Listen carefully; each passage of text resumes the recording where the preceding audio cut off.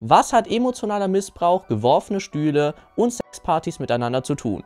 Richtig, alles ist irgendwie Teil der Annie the Duck vs. Mauki Thematik. Und darum soll es heute auch gehen, denn Annie the Duck hat ein neues Statement hochgeladen, in dem sie mit einigen Belegen ganz gut aufzeigen konnte, dass Mauki zumindest in Teilen nicht so ganz die Wahrheit gesagt hat anscheinend. Aber dieses Statement bezieht sich ausschließlich auf Mauki. Sie möchte auf keine anderen Vorwürfe eingehen und begründet das folgendermaßen. Und ich habe mich auch entschuldigt und ich verstehe auch, wenn ich kacke gewesen bin in privaten Zusammenhängen. Aber jetzt wird gelogen. Ich habe Beweise dafür, dass es einfach nur noch Lügen sind mittlerweile. Wenn jetzt öffentlich über mich gelogen wird, werde ich öffentlich das Ganze richtigstellen. Soweit so gut. Als erstes in diesem Statement von Annie geht es um einen Ausraster von Mauki, den sie selber folgendermaßen beschreibt. Und dann habe ich auf den Tisch geschlagen und bin laut geworden, habe ihr gesagt, dass ich endlich sehen kann, wer oder was sie ist und bin gegangen möchte auch einmal ganz klipp und klar sagen, ich habe niemanden angegriffen, ich habe niemanden mit Sachen beworfen. Der Einzige, der unter mir leiden musste, war dieser arme, arme Tisch. Doch Annie the Duck erzählt diese Geschichte ein klein wenig anders. Mauki hat mehrfach aggressiv auf den Tisch geschlagen und ihr Handy auf den Boden geschmettert. Ähm, natürlich alles, indem sie wahnsinnig laut geschrien und gebrüllt hat. Und als ob das alles nicht schon verstörend genug ist, ist sie aufgestanden, hat einen Stuhl gegriffen und in Richtung eines Gastes geworfen ähm, und diesen auch nur knapp verfehlt. Das war für uns alle sehr, sehr, sehr krass. Und hier würde ich tatsächlich vermuten, dass die Situation unterschiedlich interpretiert wurde. Mauki gibt ja selber zu, dass der Tisch unter ihr gelitten hat. Und vermutlich hat sie auch irgendwas mit einem Stuhl gemacht. Im Sinne von den umgekickt, umgeschmissen oder in irgendeine Richtung geworfen. Was sie vermutlich nicht beabsichtigt getan hat, ist, den auf eine Person zu werfen. Was vermutlich für Annie wiederum so aussah. Was allerdings schon in dem Statement von Mauki so wirkte, war, dass sie in diesem Fall die Situation ein wenig herunterspielte. Wo man sagen muss, hier verstehe ich die Argumentation von Annie etwas mehr. Als nächstes ging es dann um die Tabletten von Mauki.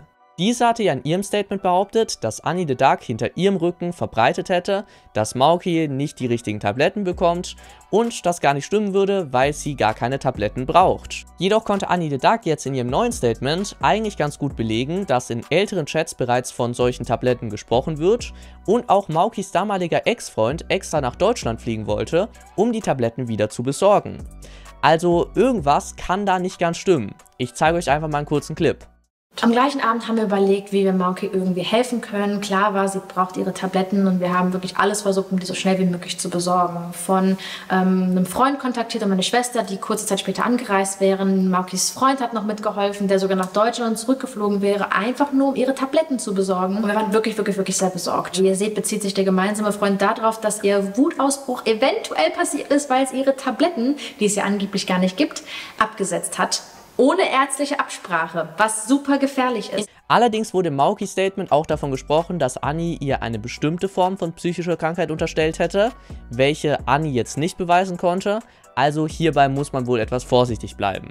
Als nächstes zu dem Vorwurf, dass Mauki behauptet hat, dass sich Annie the Duck nicht um sie gekümmert hätte und sie kein privates Gespräch mit ihr wollte. Schauen wir da mal rein, denn Annie the Duck konnte tatsächlich ganz gut belegen, dass das so exakt eigentlich gar nicht stimmen kann. Also der gesamte Kontext ist, dass Mauki sich damals von einer dritten Person abgelehnt gefühlt hat ähm, und ich nicht wollte, dass sie in ein Loch fällt. Ja klar, ich habe Mauki gesagt, dass ich lieber zu einem späteren Zeitpunkt sprechen möchte. Ähm, aber wie man an den Screenshots sieht, haben wir uns am selben Abend noch getroffen. Sie hat auch bei mir übernachtet und wir haben wirklich sehr, sehr, sehr lange geredet. Ich habe ihr zugesichert, dass ich ihr gerne helfen möchte, nicht mehr so einsam zu sein. Sie hat aber den kompletten Zusammenhang von diesen wirklich sehr, sehr langen Gesprächen nicht gezeigt. Hier ist einmal das ganze Gespräch. Sie hat sehr viel davon geredet, dass sie sich einsam fühlt und auch gleichzeitig beschrieben, wie sie mit sehr, sehr vielen Leuten jetzt Kontakt abgebrochen hat und sich abschottet. In diesen Momenten ist es wirklich sehr, sehr, sehr schwierig mit Mauki zu reden. Das wusste ich und das habe ich versucht zu berücksichtigen. Und hier muss man schon ganz klar sagen, dass das einfach nicht ganz mit der Erzählung von Mauki übereinstimmen kann. Zudem gab es ja noch den Vorwurf, dass sich generell Leute aus Maukis Umfeld von ihr abgewendet hätten. Und auch das kann nicht so ganz stimmen. Sie wurde mehrfach von Freunden kontaktiert, wie man auch hier an diesen Chats sehen kann. Und sie war diejenige, die den Kontakt abgebrochen hat unter einer sehr, sehr, sehr unangenehmen Nachricht auch wieder. Und ähm, gesagt hat, dass sie nicht mehr kontaktiert werden möchte. Keine Ahnung, warum man über so nachweisbare Sachen lügen muss und das alles noch schlimmer klingen lassen muss. Ähm, meiner Meinung nach ist das alles ziemliches Framing. Kommen wir als nächstes zu der angeblichen Schmierkampagne, die Annie the Duck gegen Mauki gefahren haben soll.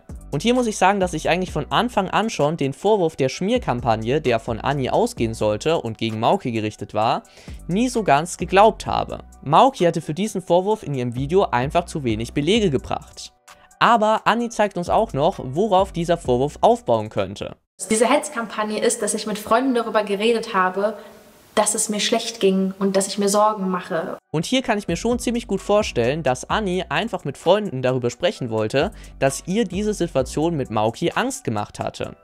Gerade wenn sie hier sowas erzählt. Leider auch ein paar traumatische Erinnerungen aus meiner Kindheit hochgeholt, in der ich leider sehr regelmäßig mit Möbeln beworfen worden bin. Dann kann das prinzipiell schon hart für sie gewesen sein und dann verstehe ich auch, dass man da mit irgendjemandem drüber reden möchte. Andererseits kann ich aber auch Mauki verstehen, welche dann aus dritter Hand gehört hat, dass Anni über sie erzählt soll, dass sie Stühle auf Leute wirft und so weiter, weil das vermutlich auch eine Situation war, die Mauki selber nie so wahrgenommen hat. Und nach Maukis Schilderung war dann Anni danach zu keinem Gespräch bereit. Als Beleg dafür zeigt sie diese Nachricht hier. Allerdings kann Annie the Duck das relativ gut widerlegen. Dieses Gespräch ist übrigens auch das, bei dem sie behauptet und bewiesen hat, dass ich sie geghostet habe, weil danach keine Nachricht mehr kommt. Sie gesagt, dass ich es ein Unding finde, dass sie nicht mit mir reden möchte und dass sie nicht für ihre Fehler gerade stehen möchte. Ich wurde geghostet. Der Vorwurf des Ghostings ist also auch eine Lüge. Wenn man angekündigt auf Abstand geht, dann ist das kein Ghosting. Ja, nachdem ich um Ruhe gebeten habe, hatte ich nicht mehr auf Nachrichten reagiert. Ich habe aber auch vorher sehr klar gesagt, dass ich mich zurückziehen werde. Also der Vorwurf an Annie the Duck, dass sie hier geghostet hätte, ergibt natürlich wenig Sinn, wenn sie bereits Monate zuvor selber geschrieben hatte, dass sie ab jetzt den Kontakt abbrechen möchte. Aber auch Annie äußert in diesem Statement nochmal einen direkten Vorwurf an Mauki dass Mauki ganz vielen unserer gemeinsamen Freunde geschrieben hat, dass sie den Kontakt mit ihnen abbrechen muss, wenn sie noch Kontakt mit mir haben. Und das muss ich nicht mal beweisen. Das hat Mauki selbst getan, indem sie die Screenshots gezeigt hat. Und da reden wir übrigens von Dutzenden Fällen. Und zu allem Überfluss war das nicht einfach nur ein Text aus heiterem Himmel von wegen, hey, ich kann nicht mal mit dem befreundet sein, wenn du mit Anni befreundet bist, was eh schon seltsam wäre. Sie hat einen langen Text in eine PDF gepackt und als Rundmail geschickt. Und man kann es jetzt natürlich schon allgemein weird finden, dass sich Mauki überhaupt von gemeinsamen Freunden distanziert. Aber wenn es jetzt darum geht, dass man da wirklich überhaupt keinen Kontakt mehr haben möchte, gar keinen Bezugspunkt mehr, weil da was Schweres vorgefallen ist, kann ich das schon noch irgendwo verstehen. Was aber definitiv zu weit geht, ist dann diesem gemeinsamen Freund eine dreiseitige PDF zu schicken, indem man die andere Person schlecht dastehen lässt, vielleicht in der Hoffnung, dass diese sich dann zu der anderen Person distanziert. Der Fairness halber muss man sagen, wir wissen jetzt natürlich nicht, was in dieser PDF drin steht. Aus dem Text darunter in der Nachricht geht schon hervor, dass es grob um das Thema geht, aber ich bin auf jeden Fall mal gespannt, falls Mauki in ihrem nächsten Statement diese PDF veröffentlichen sollte. Aber jetzt kommen wir mal zu der Party.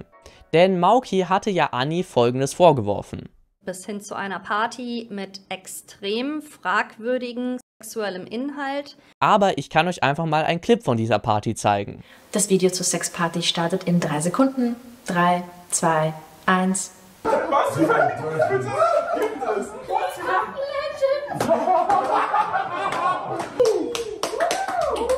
Erstens Consent. Der Female Orgasm. Banger-Präsentation. Das war so eine Banger-Präsentation. Das war Banger.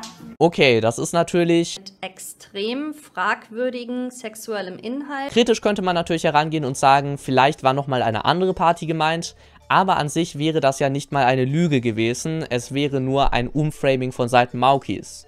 Denn sie kann diese Party ja für fragwürdig oder extrem fragwürdig befinden und der sexuelle Inhalt war ebenfalls gegeben. Lustig war da noch dieses Detail, welches Annie hinzufügte. Wenn ihr euch die Bilder genau anseht, dann merkt ihr, dass Mauki tatsächlich die einzige Person war, die dachte, sie kommt zu diesem Abend mit so einem Ganzkörper-Latex-Anzug. Wir anderen hatten alle normale Klamotten an. Also vielleicht hatte sich Mauki einfach auf etwas anderes vorbereitet. Aber ganz kurz mal off-topic. Wie langweilig sieht bitte diese Party aus? Vor allem muss man sich da noch Tage vorher hinsetzen, recherchieren und eine PowerPoint-Präsentation machen. Gar kein Bock. Aber kommen wir mal zurück zum Thema. Denn warum so eine Aussage von Mauki hier gegen Annie schon ziemlich ekelhaft ist, zeigt sie ziemlich klar. Unreife Gags treffen auf dumme Kommentare. Aber das Tolle ist, was in der Öffentlichkeit dabei hängen bleibt, ist, die schlimmen Sexpartys von Annie the Duck kam es zu sexuellen Übergriffen. Ich keine Ahnung, bin gerade irgendwie so ein bisschen sauer, fast schon was das Thema angeht. Ich weiß gar nicht, wie ich das sonst verarbeiten soll, dass Leute gerade so über mich reden. Es ist mir maximal peinlich, unangenehm, schlimmstes Gefühl, dass meine muslimische Familie, von der Mauki auch weiß, ähm, und auch weiß, wie die mit solchen Themen sind, ähm, dass die nun Schlagzeilen über meine angeblichen Sexpartys lesen müssen. Und wenn sich Mauki hier wirklich auf diese Party bezogen haben sollte, ist das ganz klar ekliges und bösartiges Framing. Ihr musste klar sein, dass das bei der Familie von Annie landen wird Und solche Ergebnisse bei Google sind halt für Werbepartner auch nicht sonderlich anziehend. Aber beim nächsten Punkt wiederum kann ich Anni nicht so wirklich zustimmen. Ich spreche nur sehr, sehr, sehr ungern darüber. Ich habe das Verhalten von Mauke gegenüber einer, nicht drei, einer mir sehr nahestehenden Person mehrfach als sehr übergriffig empfunden. Das ist meine Auffassung, was das Thema angeht und diese hat sich bis heute nicht geändert. Aber die Erfahrungen von Dritten haben absolut nichts in einem YouTube-Video verloren. Deshalb werde ich jetzt hier auch auf Screenshots verzichten und das Thema sehr kurz halten. Es ist viel, viel, viel zu privat. Und es tut mir leid, Anni, aber du kannst einfach nicht das Gerücht über jemanden verbreiten, dass er Leute sexuell belästigt haben soll, weil du gerade mal das Gefühl hast. Und ich finde alleine diesen Vorwurf, den Anni ja zugibt, gegen Mauki geäußert zu haben, ziemlich ekelhaft. Aber mich würde spezifisch dazu eure Meinung interessieren, also schreibt es auf jeden Fall mal in die Kommentare und wenn ihr dabei seid, lasst gerne ein Like und ein Abo da. Kommen wir aber mal zum nächsten Thema, denn da ging es ja darum, dass Mauki angeblich nicht Nein sagen kann und eine Chatnachricht, mit der Mauki belegen wollte, dass sie sehr wohl Nein sagen kann. Schauen wir mal rein. Aber auch genügend Beispiele als Beweise, in denen ich Anni Nein gesagt habe, wenn es um Meinungen ging oder um, um Streit oder. Es ging um, haltet euch fest, Dungeons and Dragons und wie wir es im Spiel verhalten haben. Ich habe mal den ganzen Chat geöffnet. Ähm, es ist ziemlich klar, was da passiert ist von meiner Seite. Macht Pause, lest euch das durch und dann wisst ihr, worum es geht. Und hier muss man einfach sagen, dass es keinen Sinn ergibt, wie Mauki diese Nachricht als Beweis angeführt hat, dass sie angeblich gut Nein sagen kann.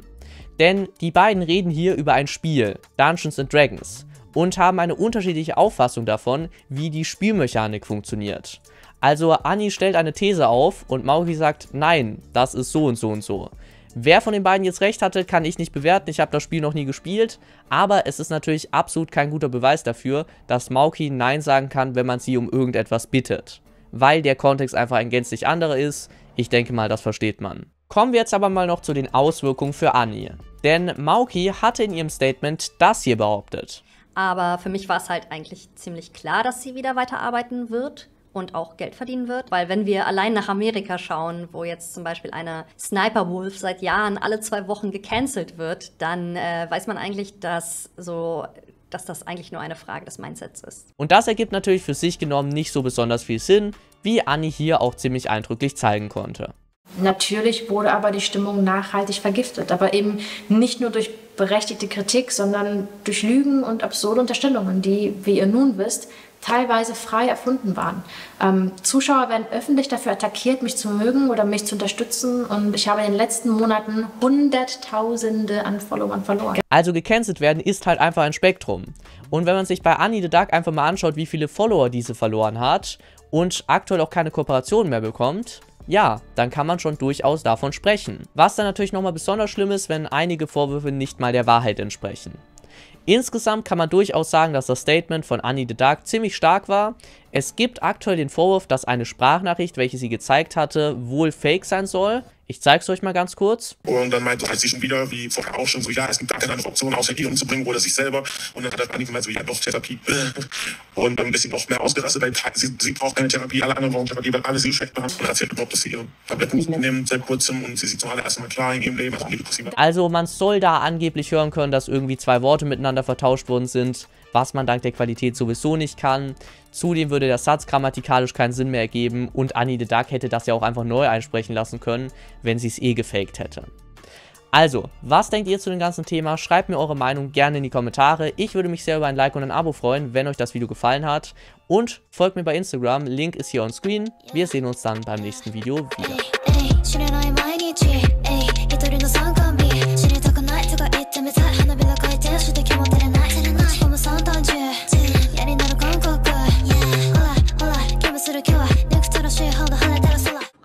Fragwürdigen sexuellem Inhalt